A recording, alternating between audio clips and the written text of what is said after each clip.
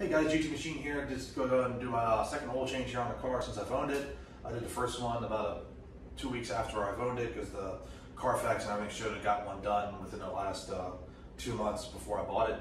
Um, it's got about 2,000 miles on it, but it's been about a year, and usually it's about a year. You should let the oil sit in there before it uh, loses all its detergents and all the additives in there where they start breaking down. So I'm gonna go ahead and get it changed, and I'll show you the supplies I'm using. All right, guys, so here's the stuff I'm using. Um, here's the oil filter. I buy the whole canister and everything assembled together because you got to buy the O-ring separate from the filter if you buy it from Porsche. And it's only a couple bucks more. And then also, I've got the crush washer for the drain plug. Here's the oil I'm using, the Mobil 1 0W40. I've always had good luck with Mobil 1. I've never had a problem using all my high performance cars I've owned and it's never let me down. And then to get it poured in so you don't make a mess, I picked up this little uh, oil fill with a spout and it's also uh, delineated so you know how much oil you're putting in so you can fill it properly. And then uh, one tip, when you do do the oil, you want to do is take off the cap there for access and undo the cap here so gravity will help it go down and also natural air pressure. And I'll go ahead and get the lift set up and we'll get it up in the air.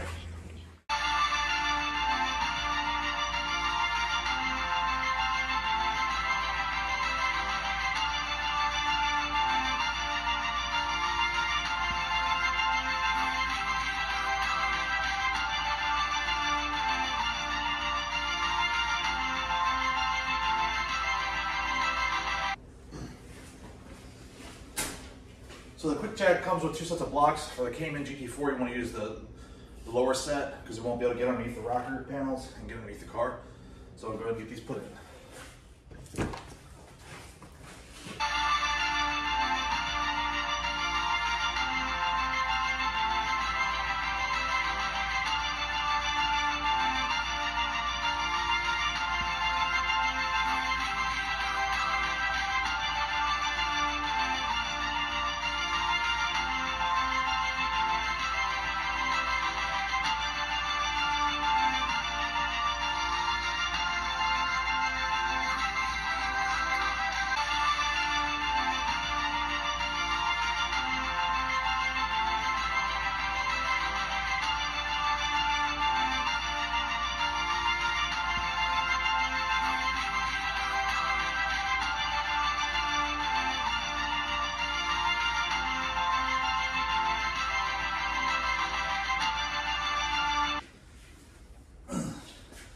You got all the lines set up and everything, everything's set, go ahead and raise it up just a little bit. And then one thing you want to do before you raise it all the way up is go back and double check, make sure all your lift points are good. And it's solid on the, the jack pads underneath.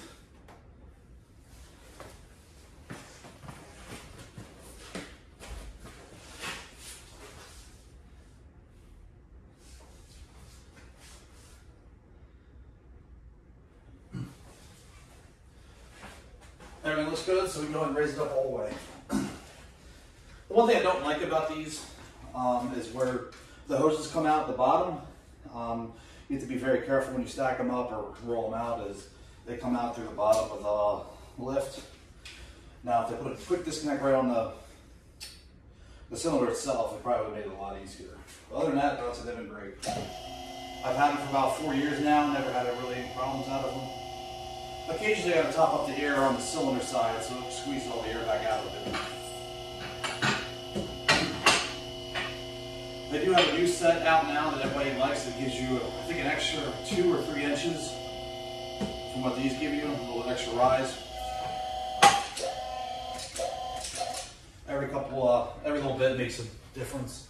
So once it's all the way up, you want to check them, make sure everything's good, and then really lower it back down onto the locks. And just make sure both sides lower down correctly on the locks. That way there's no issues for it to fall or anything like that. So let's go ahead and uh, get underneath the car and uh, start draining the oil. All right, so the tools you want to use is a 3 8 ratchet, a swivel. This is before taking the oil filter out. Uh, small extension, that's going to be for taking the drain plug out. Larger extension, that's going to be for the oil filter wrench here. And then this is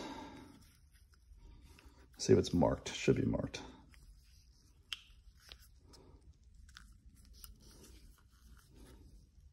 Oh, there it is. This is a 76 14th uh, cup wrench.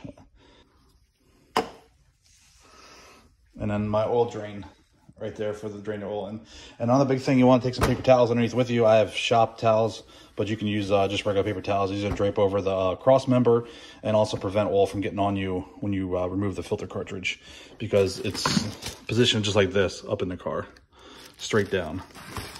Um, another thing to note, um, I, what makes it easier, you can start the car and run it for a bit to warm up the oil. Um, however, I don't really see a need. I'm not time constraint prohibitive.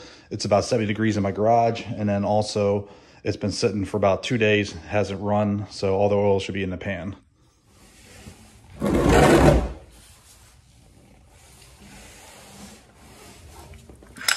All right, so I'll go ahead and uh, get the oil drain in first.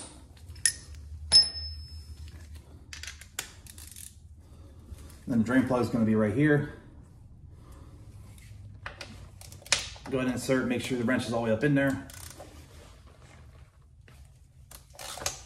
And then loosen it up. I, I don't tighten.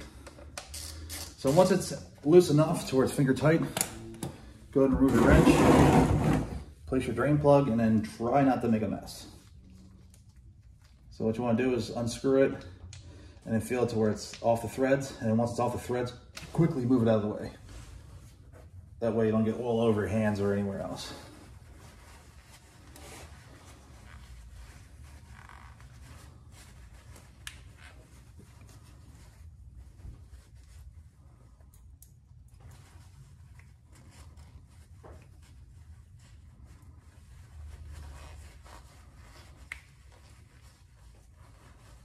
Surprise is actually pretty dirty for only having about 2,000 miles on it.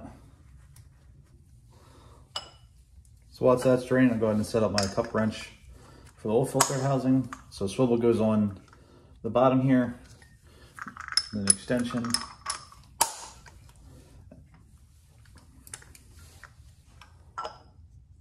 And I'll go ahead and let that drain and then show you the oil filter.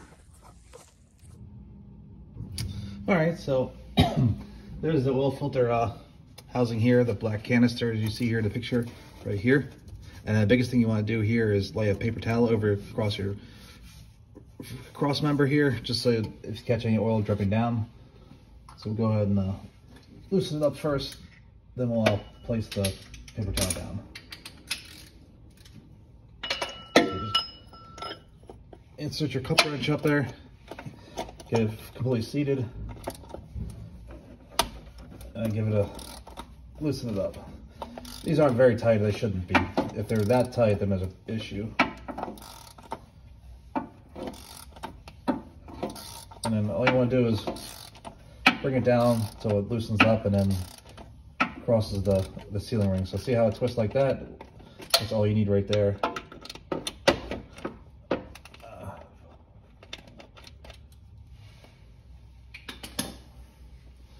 And we'll take the paper towel.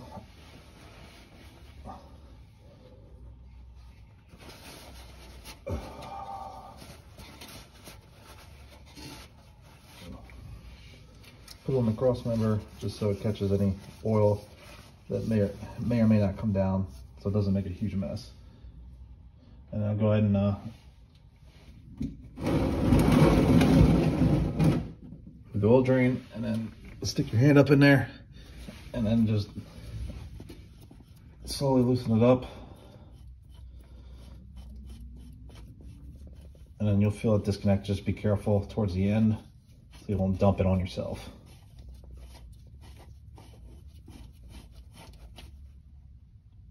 All right, looks like it's out. And then slowly slide it down. And then out. I caught it. The filter came off. So see, sometimes this can happen. The filter comes out of it. Just put your finger up in there, pull it down, and then dump it right into your bucket or your pan.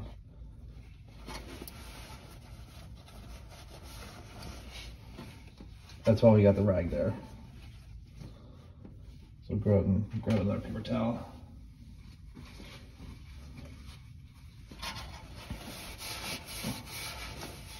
Clean the frame rail off if we spilled any. And also catch the drips while I go get the new oil filter. So take your new oil filter and then just use some of the used oil and then put around the the new O-ring on the cartridge housing. Just so there's a little bit of lube on there and get it to where it doesn't catch and roll up on you and then cause a leak. And then what I to do is put it back up in there, pull the towel away, slide it up in there, and then slowly screw it in to the way you can't go anymore with by hand. And then I'll put the tool up in there.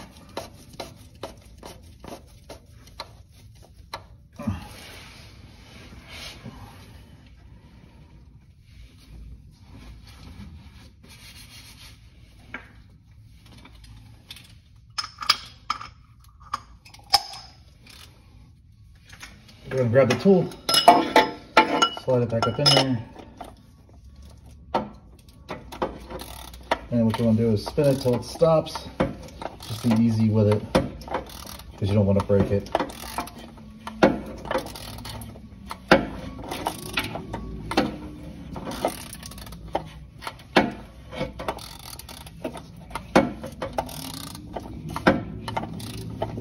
All right, so stop right there. So what you want to do is just a little bit further, just torque it on there. Just like that. And that's it.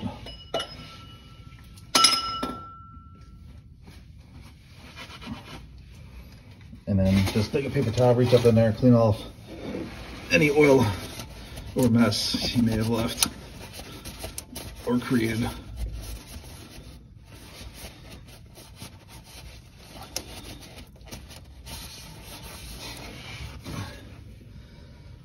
And that's the oil filter.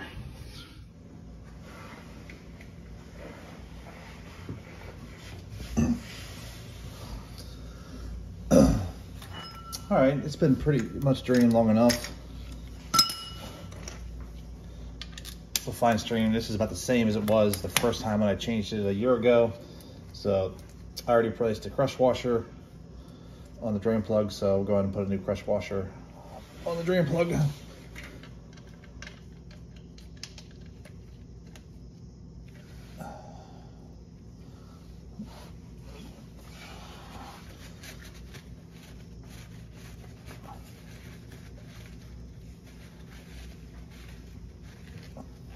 Tighten it to where it's hand tight. Go ahead and uh, give it a spray of brake clean just to clean it off before I tighten it.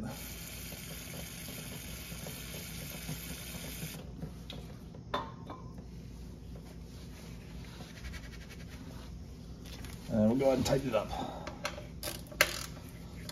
I think these are about 35 newton meters normally, but if you're pretty good with this, all you do is you pretty much tight it till it stops and then just a quarter turn more just to give it some crush on the crush washer and that's pretty much it. I've never had a problem with drain plugs coming loose ever. But if you guys are uncomfortable, you're more than welcome to get the torque wrench out and torque it up. And I'll give it one little quick spray just to clean off anything residual.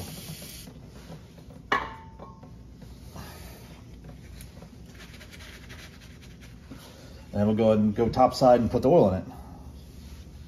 Go ahead and get all this stuff moved out of the way here.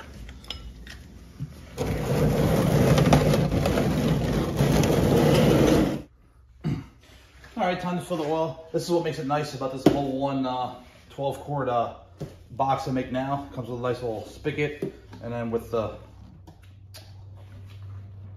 I guess my uh, can to fill it up. You can easily measure it out, but I'd say the Cayman requires about between 7.2 to 7.5 quart or quarts, liters of oil, depending on how much you let it drain. So we'll go ahead and fill it up and do it in uh, two liter increments. Just go ahead and open the spout, let it fill up, and then we'll go ahead and uh, put it in, we'll just rinse and repeat.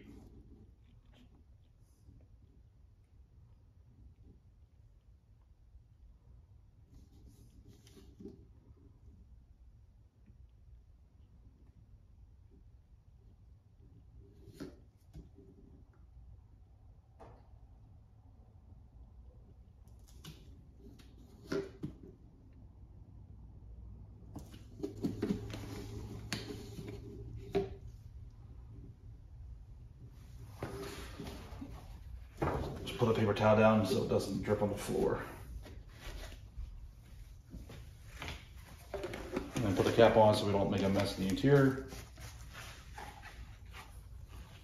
All right, let's go over to the car and fill it up. So this is why this little funnel is nice. So you can tip it down and then it goes right in the hole. Just stick it in there and then let it fill. This is so you don't have to make a, any mess in your interior.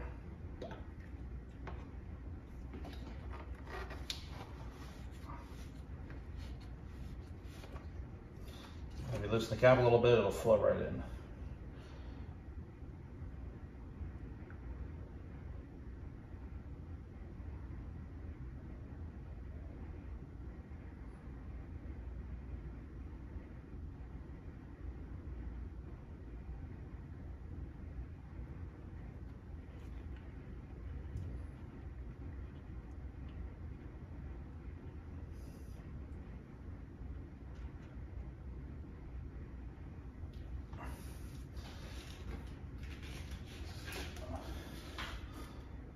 Then you put the cap back on so you don't make a mess.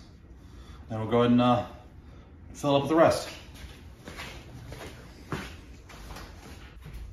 All right, so I'm adding the last uh, liter and a half to make seven and a half. This thing makes it so much nicer and easier to handle to where you don't have to worry about making a mess inside your trunk.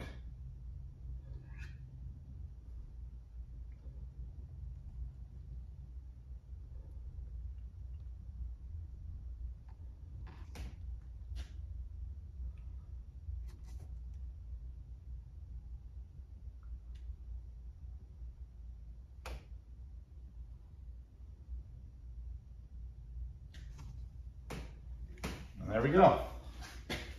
Gonna put this down and we'll put the cap on it.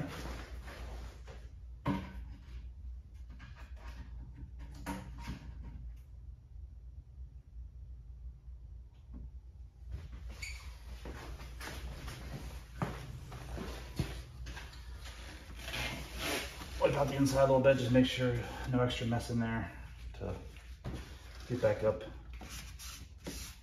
inside the car. All right, go ahead and stick your cap down in there. Pretty much tighten it up till you hit a click. Trim cover goes on. That's pretty much it. We'll go ahead and start it and uh, check the oil level, make sure everything's good, but that's pretty much a whole change on the GT4. All right, so pretty much what you want to do is let it run for about two, three minutes. Get the oil nice and hot, then you can check the level with the onboard computer. So let's go ahead and get it started.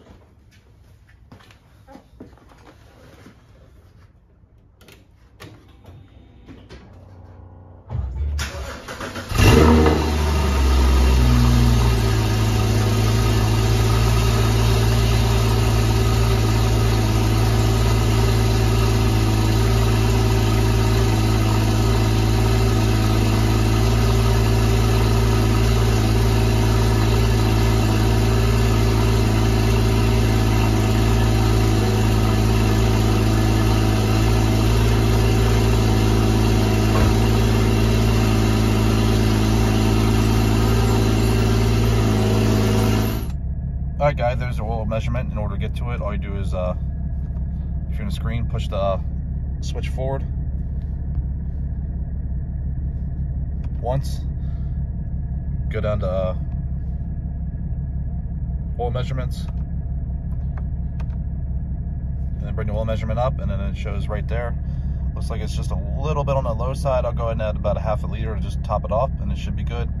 Um, it's probably because I let it drain uh, excessive long time, probably about 15, 20 minutes of a straight little little stream. But other than that, um, I had to drive the car to get the oil level to come up. It was being uh, a little finicky. All right, guys, thanks for watching. Uh, do the oil change here on GT4. If you like the videos, like and subscribe. If not, leave some comments below on what I can do better. All right. See you guys later.